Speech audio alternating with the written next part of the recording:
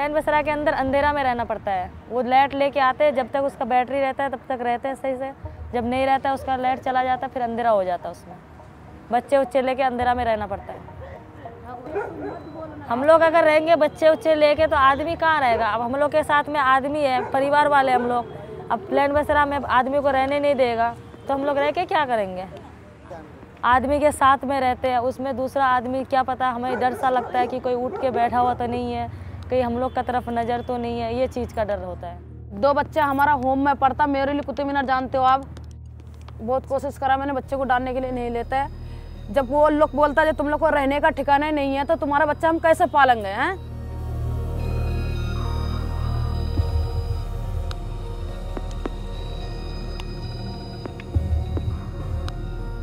चादर मिला है, बिछाने के लिए मिला है। सुबह में चाय ब्रेड मिलता है।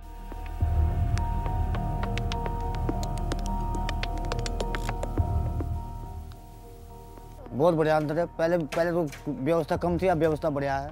खाना भी नहीं भतेरा सिलेंडर की वजह से आ जाता पहले आता था अब नहीं आता है। आ, हमारा कोशिश होता है कि सब में एक जगह एक तरह का ही सुविधा हो। आप देख सकते हैं यहाँ पे पीने का पानी डिस्पेंसर लगा हुआ है यहाँ टीवी लगा हुआ है यहाँ ब्लैंकेट्स है दरियाँ हैं इसके बाद यहाँ केयर टेकर होता है यहाँ टॉयलेट का भी इंतज़ाम है।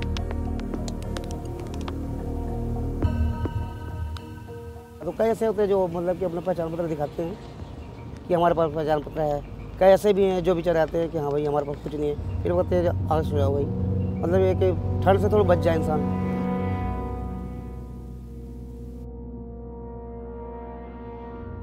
जो सिक बिल्डिंग सिंड्रोम की बात है कि द- जो नाइट शेल्टर बने हैं वो मानक के आधार पर ना बनने की वजह से कि मान लीजिए एक शेल्टर होम 800 स्क्वायर फीट का है और उसमें 16 लोग आ सकते हैं तो उसमें 80 लोग 70 लोग तक सुलाए गए हैं।